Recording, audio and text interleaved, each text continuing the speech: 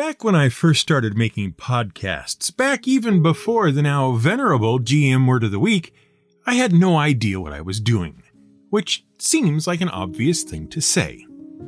Of course, you didn't know what you were doing. You'd never done it before, you might say, and you'd be right. Unfortunately, I knew I didn't know what I was doing, yet somehow that didn't prevent me from wanting to do it anyway because there are those who will look at a thing they really want to do, realize they know nothing about it, and then give up almost immediately. It's like the first filter to see if you are really serious about taking an interest in something. Can you look at an unknown, realize how much work you're going to have to do to even begin, let alone get good at it, and then still want to carry on doing that thing? If the answer is no, I can't be bothered learning all that, then thank you for your interest, but please find something else to do. Since I was definitely in the yes please camp when it came to podcasting, it meant I had a lot of work to do before eventually arriving at the show you are now listening to.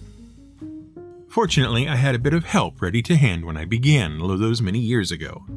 I'd made the acquaintance of some fine folks willing to share what they already knew and took to producing short audio segments for their podcast. This let me learn a bit about audio and script production and got me familiar with the basic software and equipment needed to produce such segments. The very basic equipment in some cases. If you go looking, you can find those early efforts under the title of Stormtrooper Poetry and hear for yourself how audio sounds when recorded with a USB microphone intended for the game SingStar which I found for $10 at a pawn shop. At least it was made by Sony. Progress was painful and occurred only a little at a time. But as time went on, I discovered more and more about what I was doing and how I was meant to do it, and what the technical limits were of the equipment I was using. Eventually, I became confident enough in my basic competency to invite a friend to make a full fledged podcast of our own and so we turned out a podcast called Game On, where we talked about board games and such for the same D20 radio network at which I had apprenticed reasonably successfully earlier. And what followed from there were podcasts with friends about Star Wars stuff called The Holocron, gaming advice for the budding role playing game GMs called Pottlebat, a live play podcast called Pottlebat Yelp, the weird news podcast I Can't Hear You, the Skill Monkey segment for Star Wars GMs to help them understand the funky dice. And then came the very podcast you are listening to now, and a further TWGT style podcast called Digressions and Dragons, which at least once every few months someone writes in to say they just discovered and already miss it terribly. Which is nice to hear. All along the way, incremental steps were taken, not only in learning what it takes to make a podcast, but also what it takes to make a successful one, which are two different things, in case you weren't quite sure. Upgrades were made to equipment over the years from a starting point of I have none to where I am now, which is so content with the current setup that I haven't felt the need to improve it for several years now. Software was likewise improved upon, which, much to my surprise, made an almost immediate difference, even though I had to learn a whole new system to make it all work. Turns out the free stuff is all well and good to get started with and can get you well on the road. But the step up to prosumer software makes a heck of a difference just in terms of sound quality alone. On top of all that, there was learning to write a script that people would listen to for any length of time, learning to deliver the script in a way that people wanted to listen to, discovering how to add music, and then discovering how to add music that didn't annoy everyone. I learned website design, figured out file storage solutions, learned about RSS feeds and how to use them, got used to self promotion well enough to do it every once in a while, and thereby figured out how to fund something that was no longer an idle hobby, but was increasingly like an almost actual job. Visit buymeacoffee.com slash fiddleback to help support the show and me. I learned how to get an episode out in the face of not one, but at least three near disasters, two of which involved fire, and one of which involved my father. He's much better now, thank you. And that's not even to mention troubleshooting years of terrible internet connections that would have me offline every few days in the summer until the equipment at the ISP cooled back down and, at one point, took me offline for six months because the one guy running the whole system in his garage died. And no one thought to mention it to any of the customers. All of which is to say that putting out a podcast is way more than just recording your voice and getting all your friends to listen to it.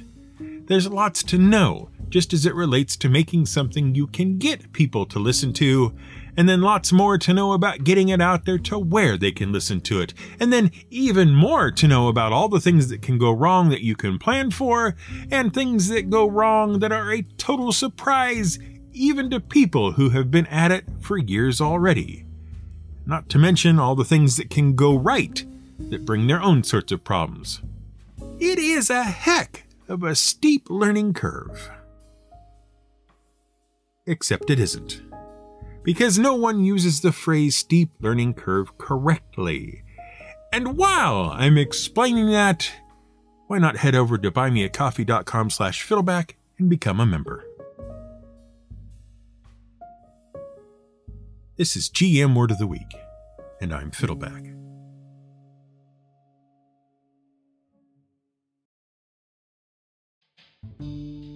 Remember, please, if you will, in the last episode when we were talking about Skinner boxes, or rather, operant conditioning boxes, I mentioned a psychologist by the name of Edward Thorndike and how his effort to see if cats could teach each other to escape from puzzle boxes not only taught us that cats absolutely refuse to learn anything from anyone, including each other, but also showed that the time it took cats and other animals to learn to escape the box on their own could be plotted on a graph, and that this graph came to be called a learning curve. Every animal has one, and not just for escaping from boxes, but for learning how to do almost everything an animal has to do that isn't automatic or instinctual. Breathing doesn't really have a learning curve. You either know how to do it already or immediately flunk out of life. Thorndike discovered that some consequences strengthened behaviors and some consequences weakened behavior, and that this interplay of behaviors and consequences was what made up an animal's learning curve. The more a behavior led to quote unquote good consequences, the more they were likely to be repeated, and those that led to quote unquote bad consequences were less likely to be repeated. In this way, an animal would learn how to be successful at a given task, say escaping from one of Thorndike's boxes. The important point of the whole thing, though, was that for most animals, it is more or less a case of random behaviors leading to consistent consequences that paves the way for learning. See, if the consequences aren't consistent, if the consequence for running into a wall isn't always, ow, my head hurts, that makes it much more difficult for an animal to determine which behaviors work and which ones don't. If I only sometimes get a mild electrical shock for pressing the red button, it is much more difficult for me to learn that pressing the red button is a bad thing, especially if sometimes the red button actually does drop a tasty treat down into my bowl for me to enjoy. This is why, when it comes to training your dog, the most important thing every trainer will tell you, above almost everything else, is to be consistent. Say you want your dog not to climb on the furniture. In order to train that, you have to make sure that every time the dog even tries to climb on the couch, they get shooed off it right away. No hanging around half on and half off. No sometimes inviting them up after everyone else has gone to bed. Not even a special chair they can climb into because no one else ever sits on it. If you want your dog to stay off the furniture, you have to consistently train it not to ever go on. The biggest problem most professional dog trainers have to deal with isn't the dogs, it is inconsistent owners who expect their animals to learn all the subtle nuances and special cases about when they can and can't do something depending on things like who is present, where they are, what time of day it is, what mood their owner is in, and a whole host of other factors that do nothing but confuse the animal and slow down the learning process. Consistent consequences are a must. So, Once Thorndike had his puzzle box properly set up and the learning environment was able to consistently dole out consequences both good and bad, he was able to plot over the course of numerous attempts how long it took his cats to get out of the box. And then he could compare that plot of results to the results from other cats to determine that no, they didn't learn from watching each other, and then compare the results to other animals to learn that there were far quicker learners in the animal kingdom than the local increasingly irritated felines. This, then, was the learning curve. And what he got was a learning curve that started out very shallow and flat, and then gradually rose very slowly as time went on. As the cats engaged in more behaviors and encountered the various consequences of those behaviors, they slowly learned which ones to avoid and which ones to repeat in order to get out of the box, until eventually they were escaping the box as quickly as they were ever going to, and no subsequent attempts would happen any faster than those that came before. The learning plateaued and the learning curve leveled off. And if you followed along carefully, you now see why the phrase a steep learning curve, which we use to indicate something that's really difficult to learn, is the wrong way around. You want a steep learning curve. Steep means that you are rapidly learning the things you need to learn as quickly as you possibly can. You are learning a lot all at once and you are using it to be more and more successful much more quickly on each subsequent attempt before you hit the plateau, which means you've learned all you can for now and no further improvement will be made. The really difficult tasks that are really tough to learn have learning curves that are very nearly flat with no upward trend at all. They're almost all plateau right from the start. The most you can do is make very tiny incremental rises over long periods of time. The proper phrase should be, if we were using it correctly, this thing has a really shallow learning curve. But the whole process of learning and the learning curve makes one very important assumption, and it is this assumption that tells us what to do when our learning hits a plateau. See, the learning curve, as is the case with cats especially, assumes that all the learning has to be done by a single individual in isolation. No cat is going to help any other cat learn how to get out of the box. Cats just don't work like that. That's not how a cat learns, nor is it how very many other animals learn.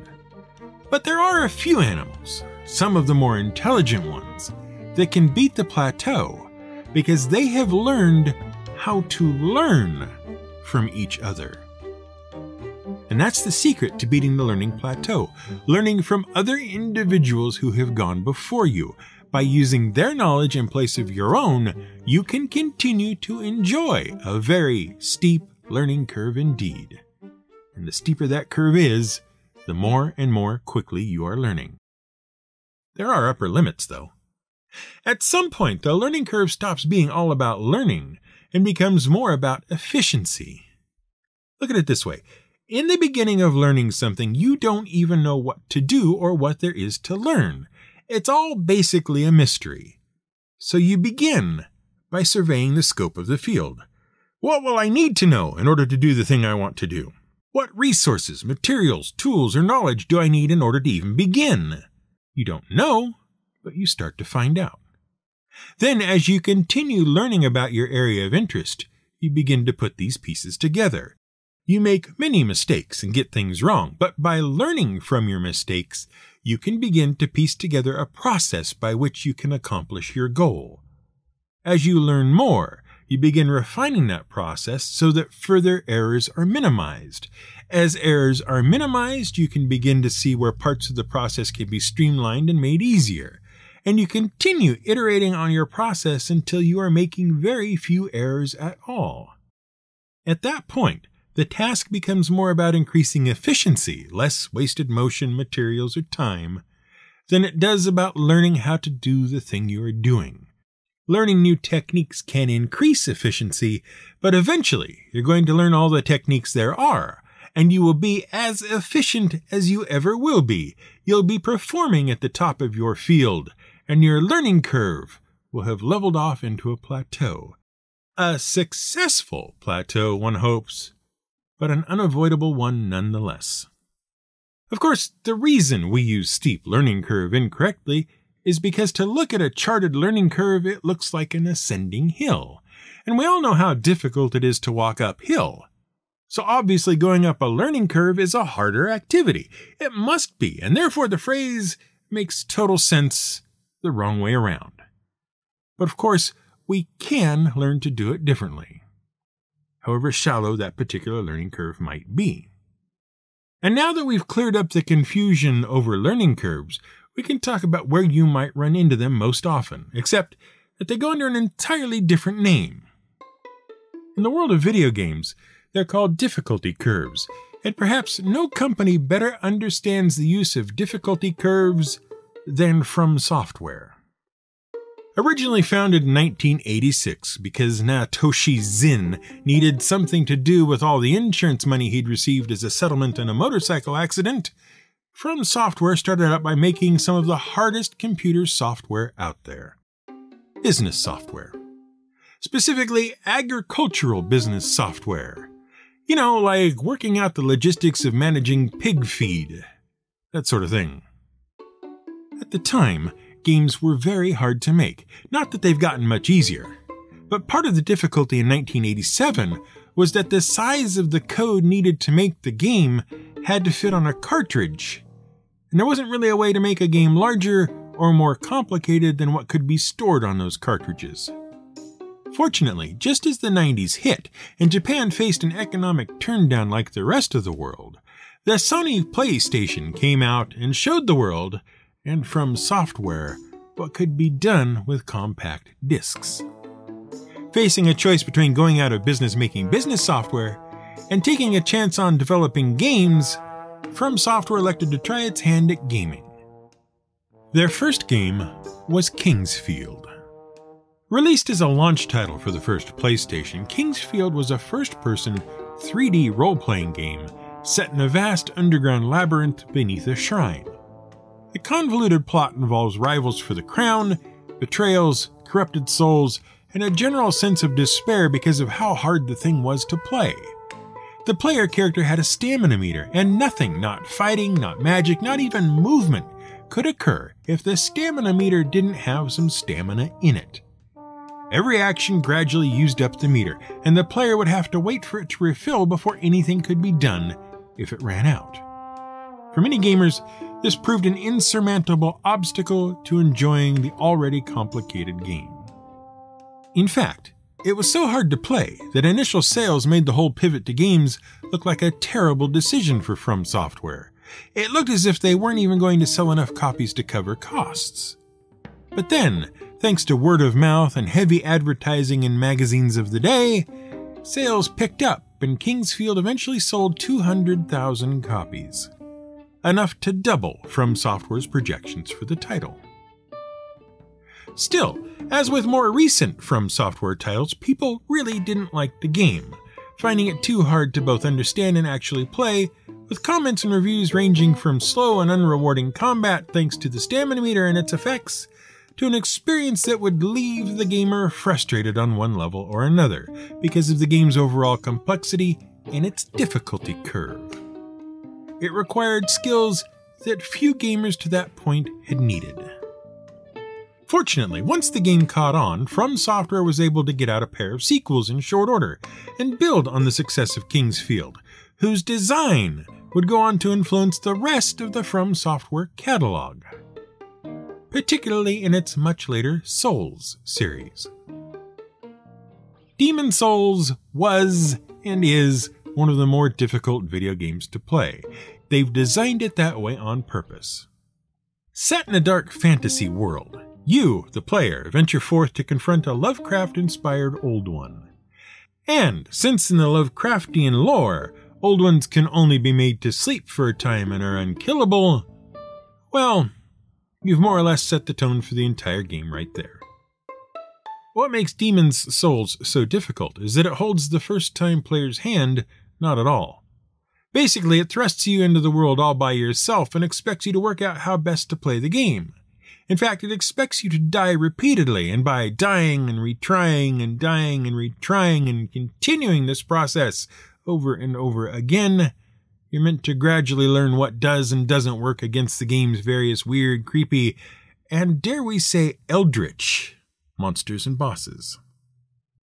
It expects you to make slow progress in the game in order to eventually beat it. Demon's Souls and all subsequent games in this series, and most of the rest of From Software's library of titles, are the very definition of a steep learning curve. Even though you now know better than to call it that. But those games also point out one other thing. See, many people, upon picking up a Souls game for the first time, think that the games are particularly unbalanced, even broken. Enemies are too tough for how little your character improves as you play the game. Progress is minute and a long time in coming, and the game doesn't let up the closer you get to the end. It stays just as difficult as it was when you began. For many people, they are just too tough to even bother playing, and they wouldn't enjoy the process even if they did play. From Software, however, has a different view, and that view is that the games are balanced. They're some of the most carefully balanced games in existence. They're just balanced towards the difficult end of the seesaw rather than somewhere in the middle, like most other games. Their difficulty curve is intentionally shallow and fans of the games love them for it. But lots of popular entertainments have particularly difficult learning curves. Music requires you to learn to sing or play instruments. Novels and other written works require that you have some command of the language and can use it well. Even the lowly podcast, as mentioned, has things that must be learned if you intend to make a good one. But perhaps the most difficult entertainment to learn to do well is the creation of movies and television shows. Not only will you likely need an acting class or two just to get started if you're going to be in front of the camera, but behind the camera are a whole host of specialists who have to be masters of their craft.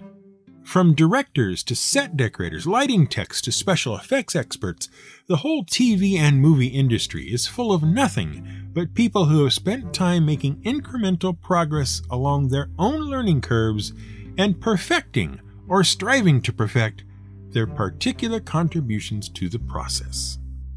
Which is why it is not uncommon to find someone in any production who has made a mistake. Heck, finding just one is something of a blessing considering how many people are involved on all levels. Just one would be a miracle. The TV series Downton Abbey was a British historical drama set between 1912 and 1926. It was created by Julian Fellowes, and the first series aired on ITV in 2010. It depicts the lives of the Crawley family and their servants and other associates as they cope with life in Britain as the British social structure is beginning to change thanks to numerous events like World War I and the outbreak of the Spanish flu. The series opens with the sinking of the Titanic and the effects it has on the male hereditary line of the Crawley family. Matthew Crawley, middle class lawyer, unexpectedly finds himself the next heir to what remains of the Crawley fortune and estate, Downton Abbey. The problem is, Matthew Crawley wants almost nothing to do with the traditional aristocratic lifestyle, and this causes no end of difficulty for those already installed at the Abbey. He clashes with almost everyone and runs into problems everywhere. The first series runs for seven episodes, and over the course of the episodes, everyone is forced to adjust to a new way of doing things and the style of life this entails. Eventually, as Series 3 of the show comes to a conclusion in 1920, Matthew Crawley, played by the actor Dan Stevens, is forced to admit that he too has had to learn a few things along the way, and that, as the owner of the estate, he's been on a steep learning curve since arriving at Downton.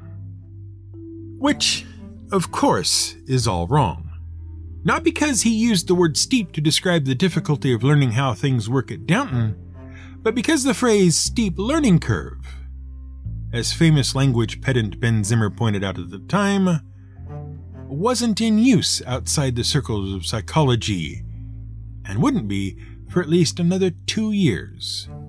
Writer Julian Fellowes had made an error. But that's okay, because the chief attraction of a series like Downton Abbey isn't in the accuracy of its phrases, but rather in the glimpse it offers into a time long past and what it was like to live in that place at that time as the world was changing. And of course, any time a time and place changes, no matter how it changes or why, there will be people who remember the way things used to be fondly, whether it was really like that or not. Their memories and imaginations will tell them it was way better then than it is now. Which means that one of the other attractions of a series like Downton Abbey is nostalgia.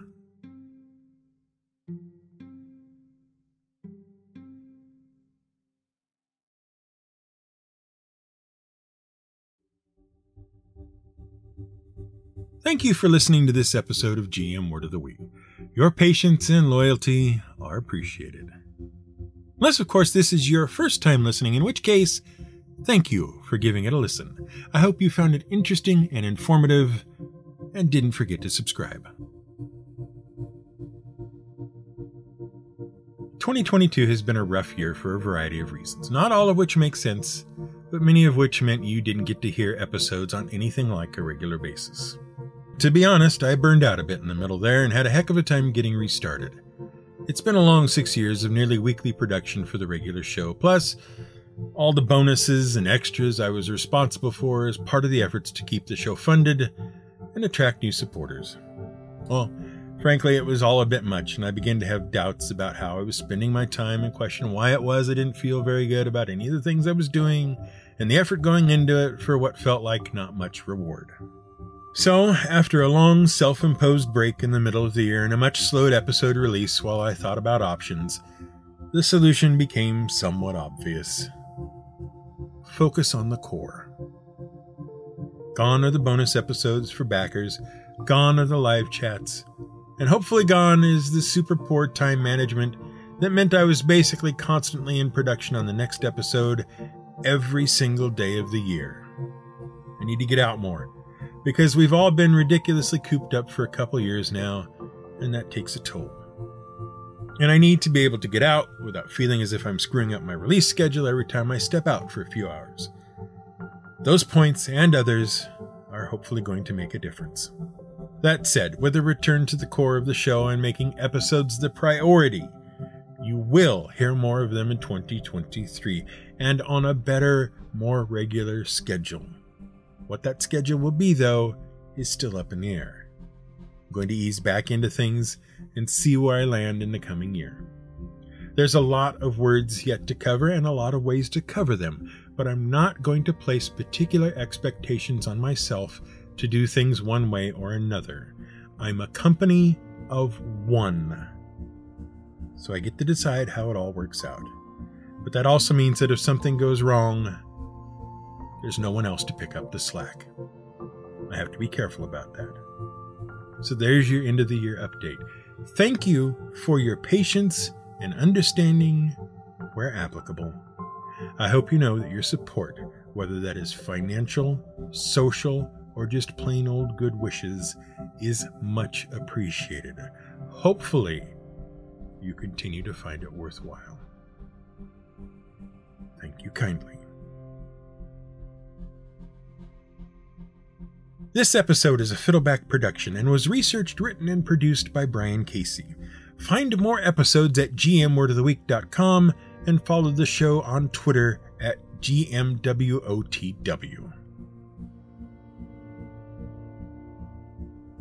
You can help support the show at buymeacoffee.com slash fiddleback with both one-time and ongoing pledges.